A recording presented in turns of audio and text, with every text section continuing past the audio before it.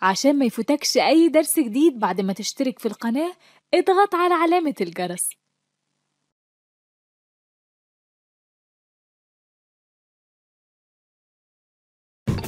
Good morning, Laura. Good morning, Mark. What's wrong? I have too many stuff that I can't organize, especially my kitchenware. Hold on. Why are you so upset? I can help. Really? Yes, of course. Okay. Show me what you got.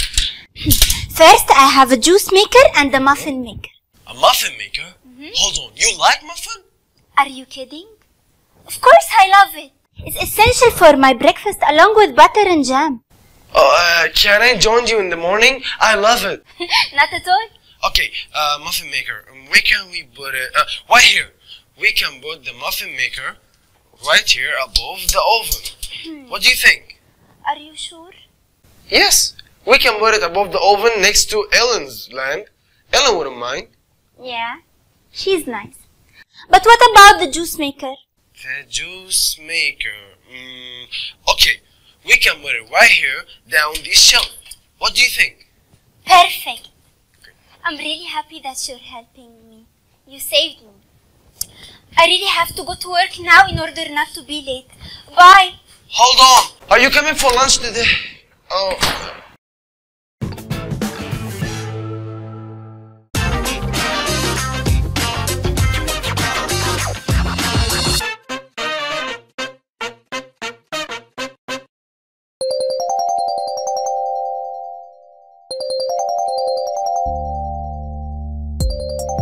Hello, Kelly, how are you? Okay, hold on. What's wrong?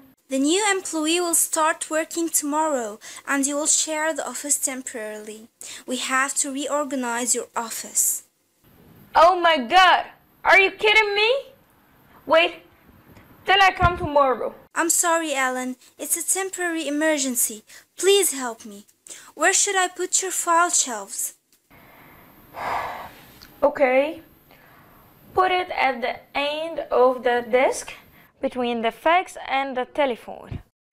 Okay, here it is. And where should I put your post-its? Oh, be careful with that. Put them on the blackboard in the same order. Okay. What about your file case? Put it on the desk as it is. Except for the blue file, put it on the shelves above the copying machine. Are you kidding? You left your jacket here. Where can I put it? Yeah, I know. I didn't forget it. I leave it here in case of emergency. Put it in the drawer. The drawer right under the desk. Okay, I got it covered. See you tomorrow. Bye. Okay, bye.